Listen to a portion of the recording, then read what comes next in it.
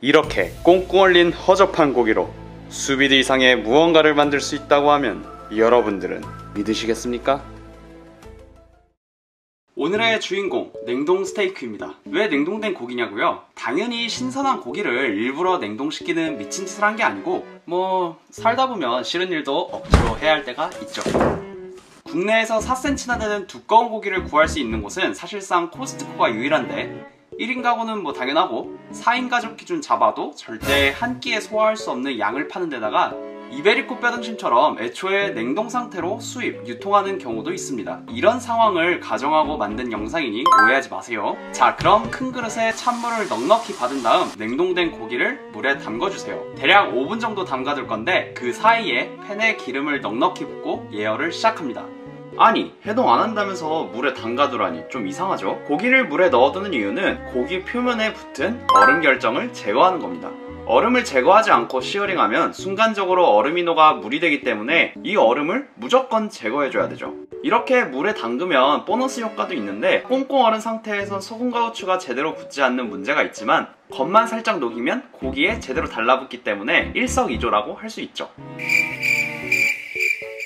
5분이 지났으면 고기를 건져서 포장을 뜯어주고요. 그러면 고기 겉면은 살짝 녹고 안은 여전히 얼음장처럼 딱딱할 텐데 티슈로 겉면의 물기를 확실히 제거해주고 소금과 후추를 뿌려주세요. 기름에서 연기가 올라오면 준비 완료! 고기를 넣고 searing을 시작합니다. 30초마다 뒤집어 줄 거고 3분 searing 할 거예요.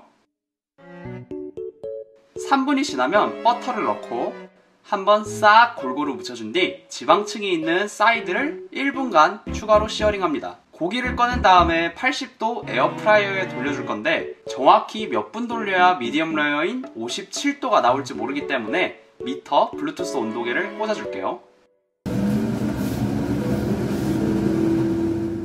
미디엄 레어 57도까지 도달하는데 36분 걸렸습니다.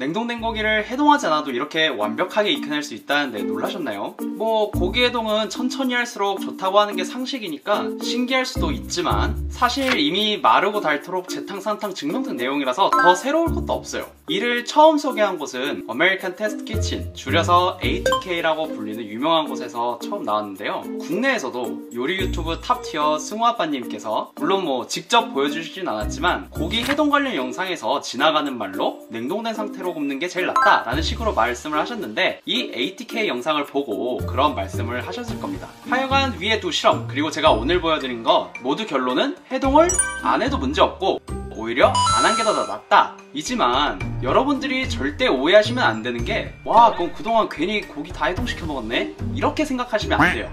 이 실험은 모두 조건이 붙어 있는데 바로 오븐이나 에어프라이어를 사용한 방식에서만 통한다는 겁니다. 즉 pan fry는 절대 안 돼요 사실 해동을 안 해도 된다는 결론은 너무나 당연한 게 실험 과정을 자세히 살펴보면 ATK 같은 경우는 우리가 오늘 한 것처럼 3분 searing 한 다음에 오븐에 넣는 전통적인 방식을 사용했고 뜨거운 공기로 미디엄 레어를 맞추는 동시에 꽁꽁 얼어있던 내부까지 해동시킨 거니까 시간만 한 10분에서 15분 정도 더 걸릴 뿐 결과는 당연히 똑같이 나와야 되는 게 정상입니다. 그래서 우리가 주목해봐야 되는 거는 이 첫 번째 문제가 없다가 아니고 이 두 번째 오히려 냉동된 거를 구웠을 때 더 이쁘게 나온다. 요거에 좀 주목을 해봐야 돼요. 이는 시사하는 바가 매우 큰데요. 왜냐면 많은 사람들이 스테이크 구울 때 제일 중요한 게 내부 온도를 정확히 맞추는 거라고 생각을 하지만 그만큼이나 중요한 게 이 겉면의 웰던 영역을 최소화하는 것도 중요하기 때문입니다. 이 스테이크 겉면에 의도치 않은 overcook이 생기는 이유는 searing 과정에서 의도치 않게 열이 내부로도 이동을 하기 때문인데요. 이는 searing 시간이 길어질수록 혹은 내부가 이미 뜨거울수록 이 문제가 더 심해지게 됩니다. 하지만 내부가 얼음장처럼 차가워서 주제도 모르고 선 넘는 이 열 따위를 차단할 수 있다면 그래서 냉동된 고기를 하면은 밖에서 들어오는 열을 계속 차단해주기 때문에 이렇게 이쁘게 나온다는 거죠. 자, 오늘 준비한 내용은 여기까지입니다만 제가 보통 유튜버였다면 이렇게 기존에 검증된 이론을 여러분들께 소개하고 마치 내가 생각하는 것처럼 알려드리고 그냥 끝냈겠죠? 근데 여긴 호무무 연구소 아니겠습니까 여러분? 제가 이거 가운 괜히 입고 나오는 거 아니잖아요 오늘의 결론 내부가 차가움으로 시어링 과정에서 열이 차단되어 오버쿡이 방지된다 음... 그렇다면 이렇게 수비드 같은 아름다운 비주얼을 유지하면서도 팬프라잉 하듯이 시어링 시간을 2배, 3배로 늘려서 마이야르를 극한까지 뽑아낼 수 있지 않을까? 오? 이거 해보면 대박이겠는데?